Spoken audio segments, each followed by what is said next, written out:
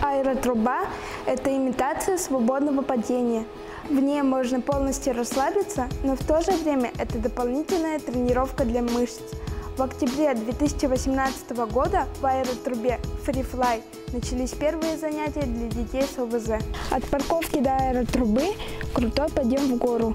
Детей с инвалидностью до места доставляет снегоход. А Занятия востребованы.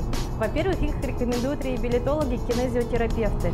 Во-вторых, логопеды и нейропсихологи, так как они видят положительную динамику у детей. Во-вторых, очевиден результаты для мам.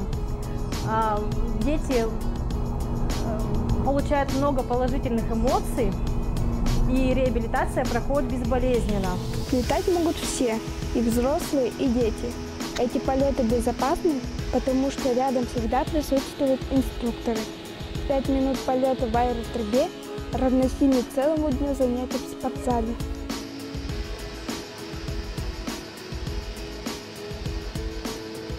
Возраст у нас с 6 месяцев, то есть детки летали вообще, это очень рано, но в силу того, что мы можем это себе позволить, можем работать с этими детьми, мы берем. Диагнозы, с которыми мы работаем, это э, синдром аутизма, ребяток э, с э, ЗПР, ДЦП, ребятки у нас летают. Вообще генетические заболевания у нас э, есть тоже ребятки, которые летают. То есть список вообще достаточно широк. Занятия очень полезны для детей с различными заболеваниями. На них ребята не только улучшают свою физическую форму, но и выходят из зоны комфорта, переживают большой эмоциональный подъем. Там заданы руки, ноги здесь. Мне нравится выполнять, выполнять полеты, ну там дизайны всякие. Я заказываю, когда летать, когда там девы дизайнеры. Я тебя боялся, потому что я никогда не летать. Теперь я не боюсь, потому что я уже летаю. Владику 7 лет. Он занимается в аэротрубе уже с октября 2018 года.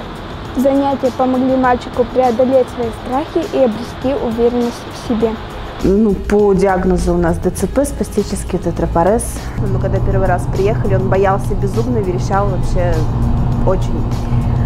Даже не хотел идти, ну, буквально, наверное, раза со второго, с третьего, когда он увидел себя в зеркале, как он летит, как он парит, как его держат, он сразу сказал класс. Он в садик приходит и говорит, вот, я летаю, я летаю, и всем, никто же не ходит туда.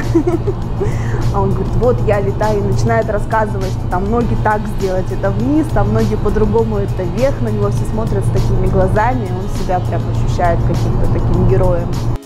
Алсу Тагирова, Дмитрий Куминов, Компас ТВ.